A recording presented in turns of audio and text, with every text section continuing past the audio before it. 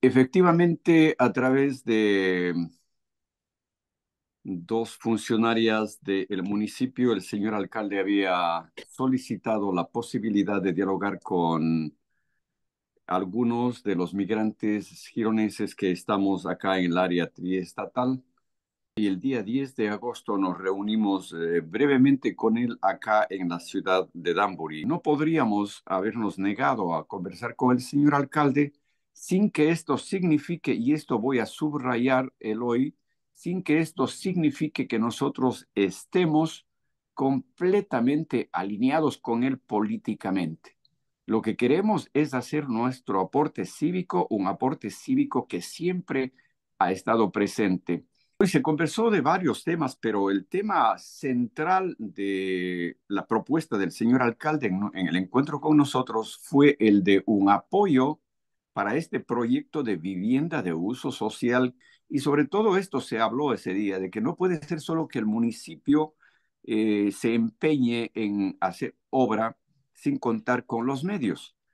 Entonces, en esta propuesta de la construcción de viviendas de uso social, eh, el señor alcalde plantea la posibilidad de construir, ha dicho él, ocho viviendas en terrenos que han sido ya debidamente inventariados, que corresponden al patrimonio eh, municipal, por tanto al patrimonio de todos los gironenses.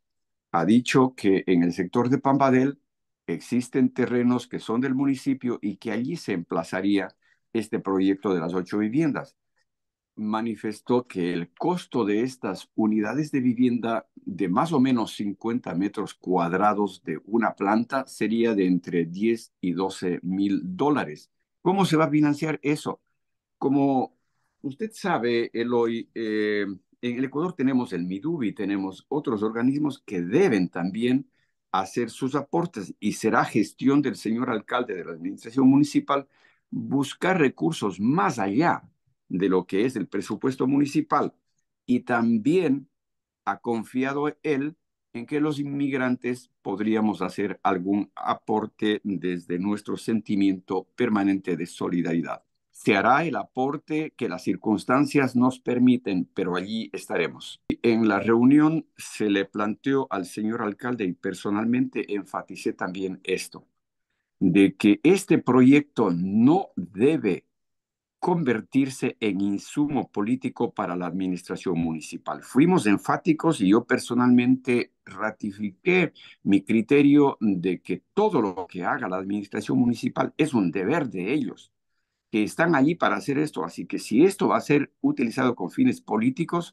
oportunamente se condenará esto. Además, se tiene que obviamente evitar de que esto se convierta en un botín político es una herramienta política para quien administren estos bienes.